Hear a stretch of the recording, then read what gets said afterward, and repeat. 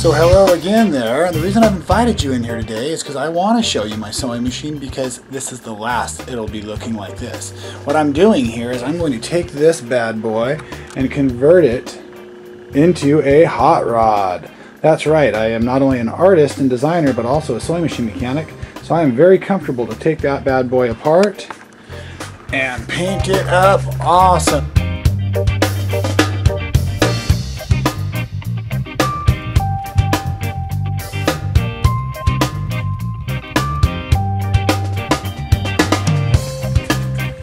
Okay, it's a day later, and here's the machine broke down and now covered in blue tape. So uh, the scary thing is this machine worked beautifully before I decided to take it apart. Now I've got a bucket full of screws and nuts and washers and all kinds of crazy stuff.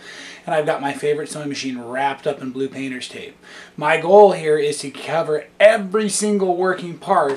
Let's move in a little bit here. There she is. So all the working apparatus other than the bottom so far is already taped over. Standard blue painter's tape, lots and lots of seams. And of course, my big problem is now it's late at night and I won't get to paint it till tomorrow. But the nice thing is, is tomorrow's my birthday and that's my present to myself is a new hot rod paint job on my quilting machine. I'll keep you posted. All right, here we are. We're back. We're outside. The machine's all taped off and it's another day. It's a beautiful sunny day out, so we're ready to go ahead and paint this thing. I've got my gloves on. There's my rattle can of orange, and we're to take some nice light strokes on this bad boy and just give her just what we're after there. I've got it, like I said, outside with nice ventilation, no wind, so a paint job should go pretty good. We'll see where we're at when we're all done.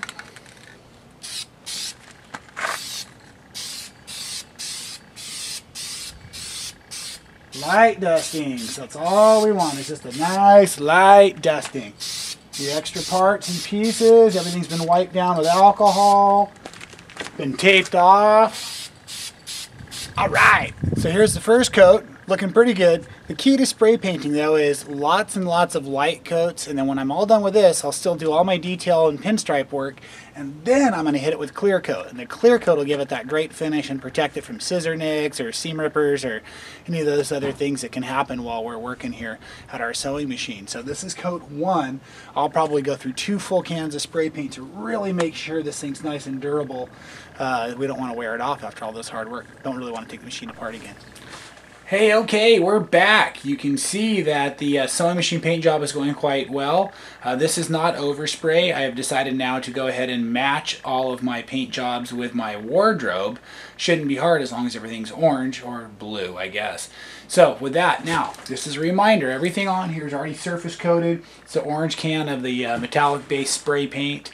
Uh, all the taping is still in place to protect the working parts of the machine. And from here, I'm going to do some detail work onto the, um, the body of the machine and do some detail work onto the external covers.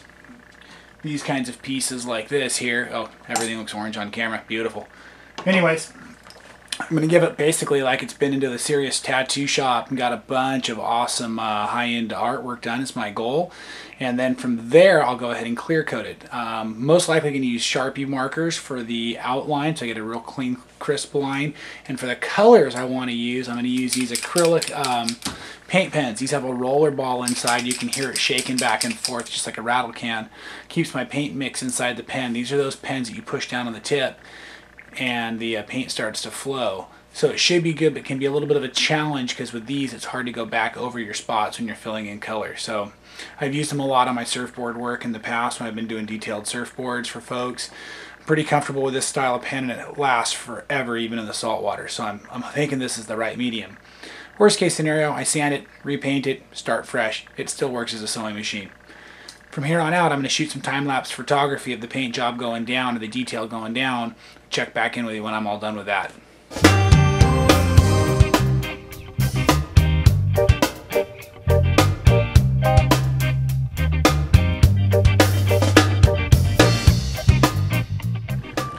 Well, things didn't go quite so well. Let me show you what happened here.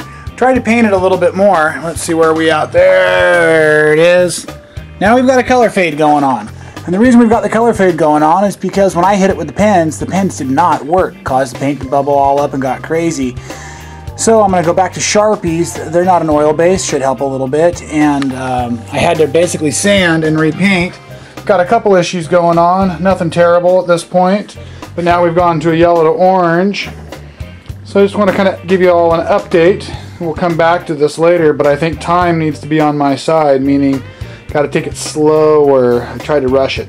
Didn't work out so good. So plan two. Sorry you missed out in the middle phases of the frustration, but probably all for the better.